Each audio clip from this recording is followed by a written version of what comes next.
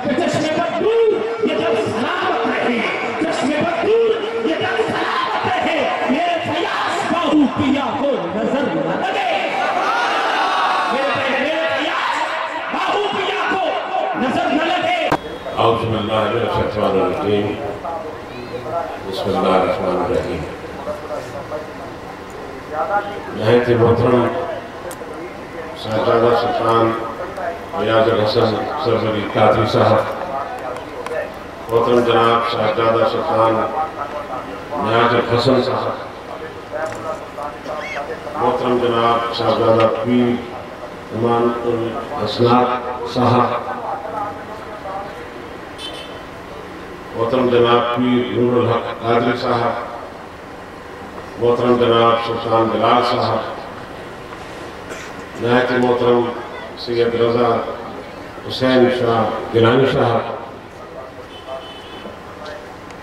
पंडाल में मौजूद बुज़ुर्गों, दोस्तों, नौजवानों असल मैं सबसे पहले तो इस बात का एतराफ़ करूँगा कि बहुत अरसे के बाद एक ऐसी महफिल में, एक ऐसे प्रोग्राम महफिल में और एक उर्स शरीफ में मैं हाजिर हुआ खास तौर पर मैं जब चंद माह कबल मोहतरम जनाब साहबजादा सुल्तान फयाज हसन साहब से मुलाकात हुई, जो कि हमारे पार्टी के उलमा मशायक विंग के सरपरस्त हैं, सदर भी हैं।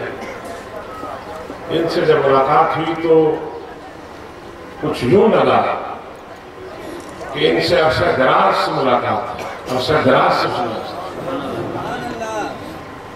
और उसकी वजह ये कि मैं तो जब इनका नाम सुनता था, जब मैं इनको मैं पढ़ता था, जब इनकी बात, इनके बारे में सुनता था तो मैं समझता था कि बहुत कोई पुरजलाल शख्सियत होंगे। बड़े कोई बाबोर और बहुत ही सख्त तबीयत के मिजाज के आदमी होंगे और बहुत ही एक आलम दीन, बहुत बड़े आलम दीन है।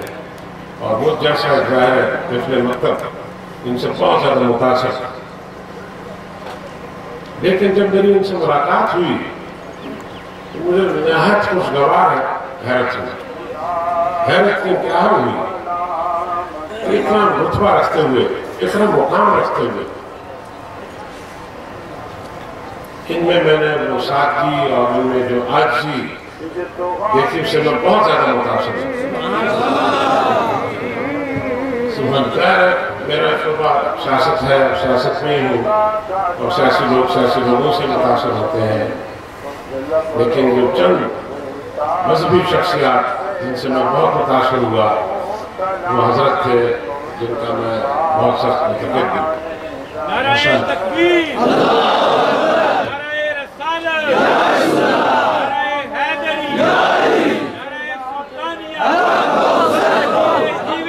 साडी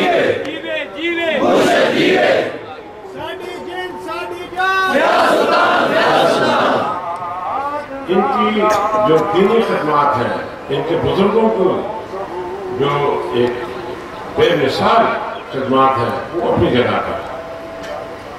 लेकिन हज़रत ने जो काम, जिस काम का बेड़ा उठाया है, वो बुनियादी तौर पर मौजूदा हालात के तहत, जिस चीज़ की सबसे ज़्यादा ज़रूरत इन्होंने महसूस की, बल्कि जो हम सब महसूस करते हैं, वो है तालीम के शोबे में, तरबियत के शोबे में।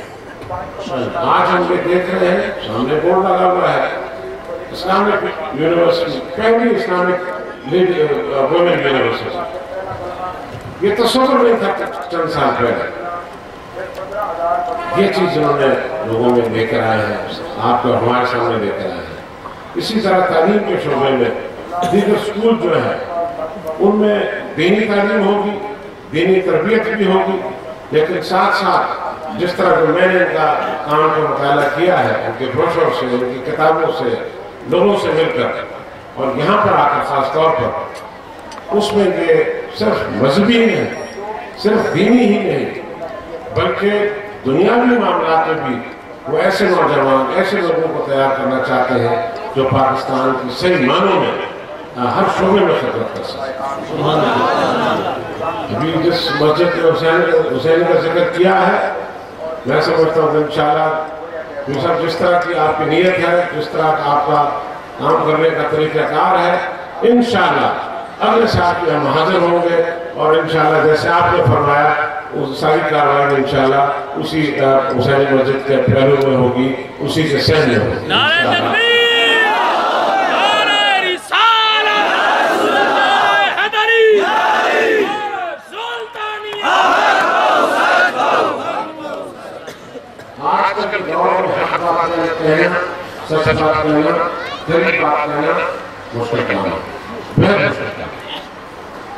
ये जब कराची तशरीफ़ लाए हज़रत तो वहाँ पर आपको पता है कि कराची में जो कष्ट खून हो रहा है, और जिस तरह की वहाँ की दहशत है, बहुत बड़ी बड़ी सियासी पार्टियाँ सुगड़ कितनी सी हो गई। कुछ मैदान छोड़कर भाग गई हैं। कुछ के कैदीन छोड़कर भाग गए हैं। कुछ के सरपरस्त छोड़कर भाग गए हैं।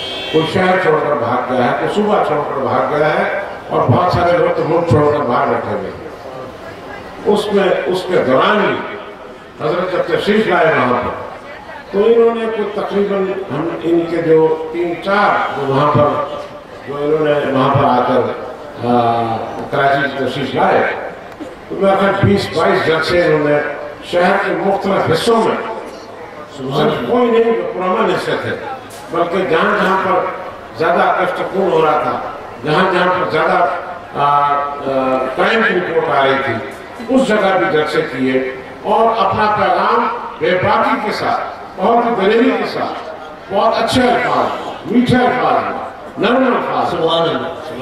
और वो पैगाम कोई ऐसा अनोखा नहीं था वो सिर्फ़ कुरान का पैगाम। वसल्लम का पैगाम। अमन का पैगाम और वो मैं समझता हूँ कि उसकी वजह से लोगों ने उनको बहुत सराहा मैं आपसे दरखास्त ये करूँगा हज़रत कि आप ज़्यादा से ज़्यादा कराची तशरीफ़ लेकर आए।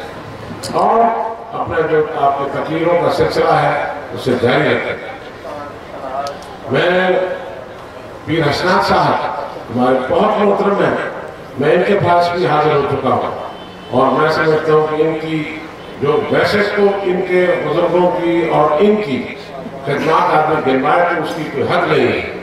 लेकिन इनकी खदमात खसूसी तौर जो जुडिशरी अदलिया की बहाली के हवाले से जो था, उसके लिए मैं जनाब आपको बहुत सलाम पेश करता हूँ। जब भी हमारे काफले वहाँ से गुजरते थे, आपके मुरीदैन आप खुद, वहाँ पर खुद खड़े होते थे इस्तेमाल करते थे पानी पिलाते थे खाना खिलाते थे। तो मैं समझता हूँ कि हमारे लिए बहुत खुश नसीबी की बात है। मैं आपका ज़्यादा नहीं लेना चाहता। एक बार फिर मुंतजमीन का खुशी तौर पर हज़रत का बहुत मशहूर हूँ कि आपने हमें यहाँ पर आने की दावत दी और चंद अल्फाज आपसे कहने के लिए हमें मौका दिया। बहुत बहुत शुक्रिया। बड़ी मेहरबानी।